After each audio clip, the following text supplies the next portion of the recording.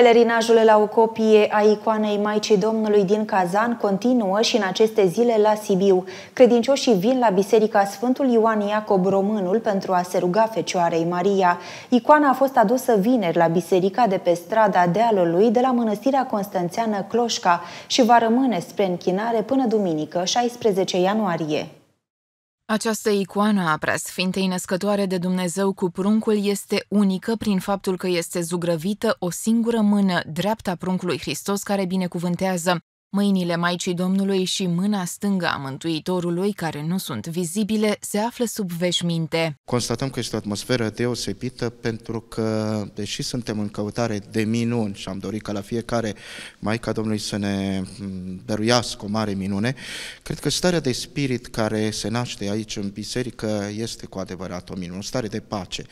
Icoana transmite o emoție simplă și frumoasă, o stare de liniștire sufletească găsească binevenită după tumultul zilelor de sărbătoare, dar sunt și vindecări, constatăm că oamenii mărturisesc despre lucruri excepționale care li se întâmplă și vin din întreaga țară ca să se întâlnească în primul rând cu Maica Domnului, că despre ea este vorba, icoana o reprezintă, dar Uh, în icoană este însă și Maica Domnului care se roagă pentru noi și pentru atâția oameni deznădăjduiți, bolnavi, suferinți. Invităm pe pelerini până duminică seara să ia drumul Sibiului, să vină să se bucure de această icoană uh, cu adevărat făcătoare de pace și liniște. Să nu fie doar un simplu pelerinaj, adică o închinare și pleacă acasă. Dacă poate să zăbovească măcar câteva minute, lângă icoană să citească acatistul icoanei al Maicii Domnului, uh, să-și spună durerile, necazurile, să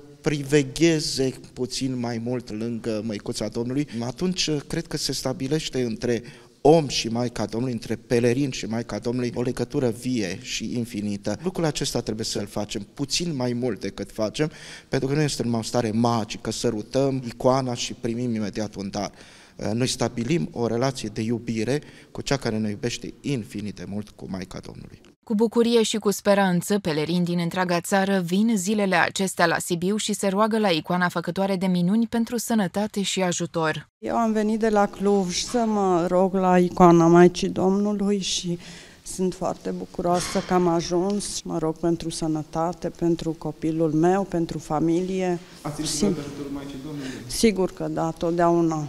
Totdeauna și mă încred în în Maica Domnului, e Maica noastră a tuturor. Mă simt foarte fericită și împlinită că am reușit să ajung astăzi. Mi-am dorit foarte mult să vin, să mă închin la icoana Maicii Domnului, pentru sănătate în primul rând, pentru bunăstarea familiei și pentru sănătatea copiilor noștri și a întregii țări, să ne ajute Dumnezeu să putem trece cu bine peste această perioadă grea pentru toată lumea. Mă rog pentru sănătate, mă rog pentru îndeplinirea unor dorințe, pentru pace, liniște în familie, întotdeauna la icoana Maicii Domnului simți alinare și bucurie. Ați simțit că vă ajută Da, da, am simțit în nenumărate rânduri, de aceea întotdeauna sunt aici prezentă și mă rog Maicii Domnului mult și simt. Întotdeauna m-a ascultat. În această perioadă, la Biserica Sfântul Ioan Iacob din Sibiu vor fi săvârșite zilnic Sfânta Liturghie și taina Sfântului Maslu. Icoana va rămâne la biserica de pe strada Dealului până duminică.